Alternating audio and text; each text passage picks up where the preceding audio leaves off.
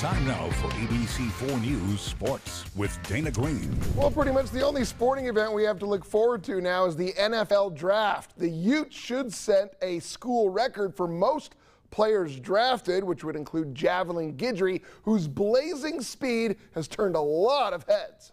This is not the way Javelin Guidry thought the weeks leading up to the NFL draft would go, but he's making the most of it. Um, it's been an unfortunate process uh, with the COVID 19 going around.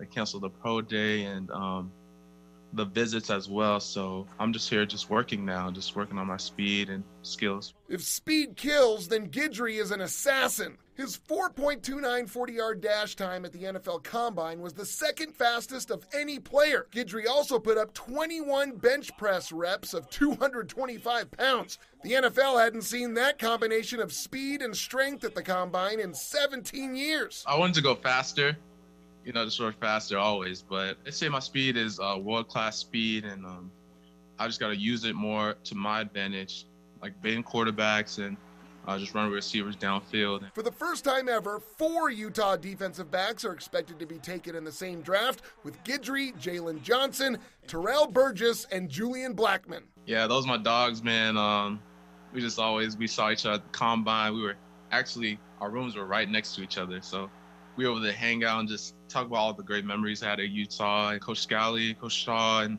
the defensive staff and Coach Whitt as well. Just put us in the best position to succeed. The school record of most players drafted is six. The Utes should shatter that this year. Guidry doesn't care where he goes in the draft. He just wants a chance. They just told me um, mid to late round, but it's really what you do when you get there, and I'm ready to help whatever team I go to in whichever way I can, as much as I can. So I'm just ready to work.